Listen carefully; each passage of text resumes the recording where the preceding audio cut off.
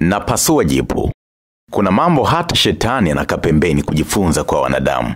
Mwandishi ni Eric Shigongo, mimi ni Ananias Edgar. Ndugu zangu wa Tanzania, kupitia safu hii napasua jipu mara kwa mara, nimekuwa nikiwaambia wananchi kwamba kinachoonekana sasa katika nchi zenye machafuko hazikuanza siku moja. Ndugu zanguni, kuna jambo baya mno limetokea kwenye jamii yetu ya Tanzania. Najaribu kulifanyia tafakuri kuntu usipate jibu la haraka haraka. Najiuliza, hivi ni kweli jamii ya Watanzania tuliosifika kwa kuwa na upendo wa dhati na hofu ya Mungu tumefikia hatua hii? Upo wapi ule upendo wetu wa mwanzo? Katika umri wangu huu nimepata kusikia matukio mengi ukatili, unyama na roho mbaya.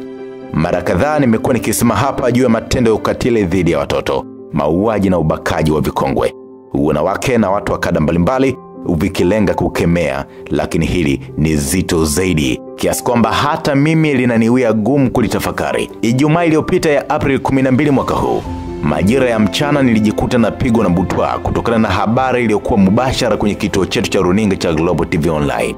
Habari yenyewe ni hii: katika hali isiyokuwa kawaida, mwili wa aliyekuwa ofisa wa wizara ya madini Mary Mkwaya Maramo aliyefariki dunia mwanzoni mwa wiki iliyopita na kuzikwa Alhamis ya wiki iliyopita katika makaburi ya Pugu Mwakanga jijini Dar es Salaam ulikutwa umefukuliwa na kutolewa nje jeneza kisha kuvuliwa nguo usiku na watu wasiojulikana. Ulikuwa umefukuliwa na kutolewa nje jeneza kisha kuvuliwa nguo usiku na watu wasiojulikana. Kaka marehemu Mary aitwaye Deogratias Maramo alidai mwili wa marehemu dada yake ulikuwa katika hali ambayo nisingependa kuielezea hapa kutokana na unyama aliotaja kaka huyo, hivyo kuomba polisi kuchunguza ili kujua kilichotokea, kwani hakuna kitu chochote kilichoibwa katika kaburi hilo. Baadaye jeshi la polisi kwa kushirikiana na mtaalamu wa afya walifanyia uchunguzi mwili wa Mary na kukubaliana na ndugu wa marehemu kuwa mwili huo uhifadhiwe tena. Kilichofuata ni kwamba mwili wa marehemu Mary ulivarishwa tena nguo upya na kurudishwa kwenye jeneza na kisha shughuli ya maziko kuanza upya.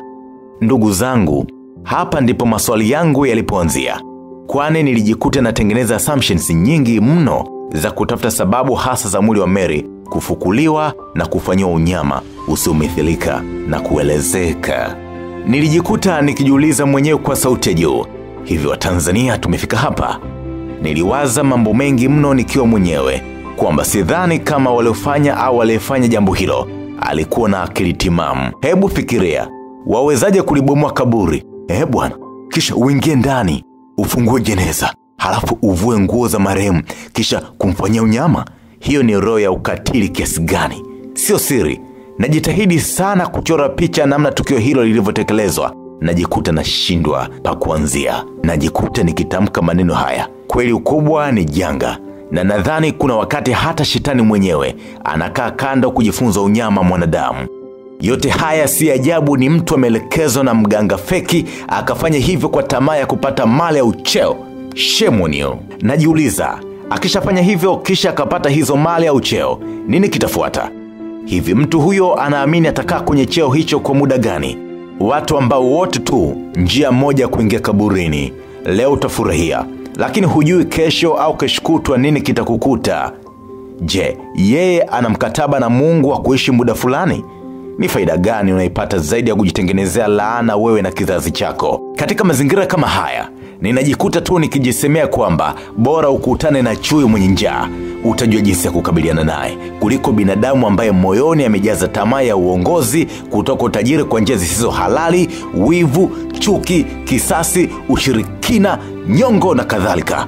Bila shaka vyombo vyetu vya ulinzi na usalama vina uwezo wa kuchunguza, kung'amua na kuwabaini wahusika wa tukio hili ambao watafikishwa mbele ya sheria ili hatua kali zichukuliwe dhidi yao, la sivyo matukio ya aina hii yatazidi kushamiri. Ni muhimu kwa vyombo hivi kuongeza kasi ya kulishughulikia haraka ili kuepusha madhara yanayoweza kutokea kwenye matukio ya sampuli hii. Katika hili, jamii yetu yote inapaswa kuwajibika kuwalinda na kutowavunjia heshima marehemu wetu kama ilivyo desturi yetu, kwani hakuna namna yoyote ambayo watekelezaji wa matukio haya wanaweza kufanikiwa bila kushirikisha baadhi ya watu kwenye jamii. Jipu limepasuka bwana, siwezi kulaumiwa kwa kusema ukweli. Mwandishi ni Eric Shigongo, mimi ni Ananias Edgar.